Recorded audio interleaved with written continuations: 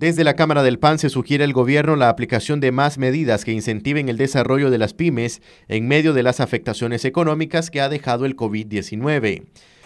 Las medidas son buenas. Y si fuera, y si fuera del 5 al 10% y hasta el 15 serían buenas, pues. Pero ya eso, y no solo eso, dicen que no se va a, indexar eh, con respecto al dólar por un tiempo, porque nosotros no ganamos dólares, ganamos Córdoba. Esa es otra medida que, que la miramos bien. Pero creo yo que tienen que tomarse más medidas para las micro y medianas empresas, que prácticamente son las que ya vamos para tres años de estar sosteniendo esta economía. Don Juan Pablo, ¿esto incentiva el trabajo de las pequeñas industrias?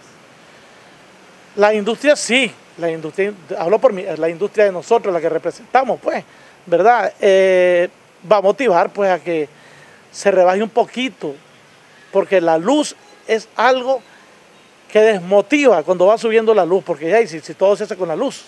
Entonces, pero esperemos el recibo primero.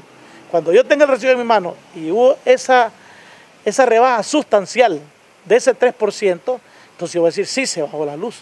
Aparte que estamos en época de invierno, que se consume menos energía.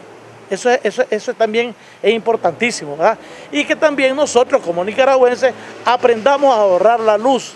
Por otro lado, Estrada indicó que hasta el momento no han tenido reportes de que las pymes estén suscribiendo la normativa de renegociación de deudas que anunció la Superintendencia de Bancos. Todavía no miro que alguien me ha dicho a mí, gracias a Dios, el banco ya eh, finiquitamos esto, todavía no, porque entonces 15 días salió. Cuando a, cuando a mí o alguien del gremio me diga, yo ya gracias a Dios me regresaron mis instalaciones, renegocié eso, yo lo voy a decir. Pero lo miro frío. Espero que los bancos sean más beligerantes con los clientes, porque si no, vamos a seguir en lo mismo de hace dos años. Es decir, sin créditos y lo peor, economía hacia el suelo.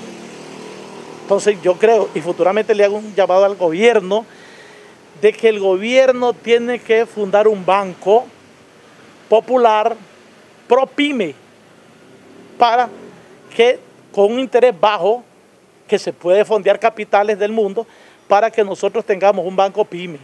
Marcos Medina, Noticias 12.